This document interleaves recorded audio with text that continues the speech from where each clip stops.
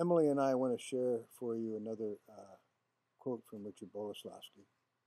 And uh, every day we're rehearsing, trying to get those lines memorized so that we can open up for you on, uh, when is it in? April, April 9th. April 9th at Theatre West, 8 p.m. Uh, so here's here's another uh, Boleslavsky quote, and we'll we'll share this uh, quote for you. The laws of nature teach us that our entire life is nothing else but a series of struggles for an ideal, for the better things of life. The dog struggles for a bone, so does a man sometimes, especially if the bone has a piece of steak attached to it. Yet mostly, man struggles for his spiritual ideals.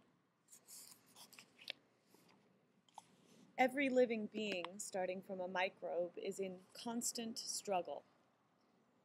As soon as the struggle stops, life dies. There can't be a play without a struggle of ideas, passions, feelings, and desires. In life, such struggle is expressed by a series of will problems dictated by our intellect and our spirit and carried out by our psychological apparatus. I am ambitious. I struggle to satisfy my ambition. I am in love. I struggle to have my love returned. And so forth down to the smallest problem.